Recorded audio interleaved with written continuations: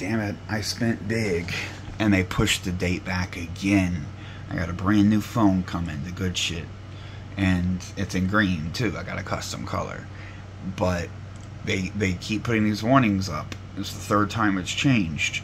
Um, the time frame and an estimate, like um,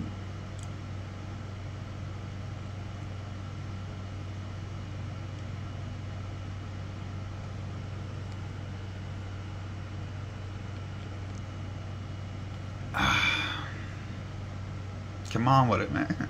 But no, see, this number's changed like three times. It was the fifth, the sixth, and the eighth. It is the fifth too. So we'll see. We'll see.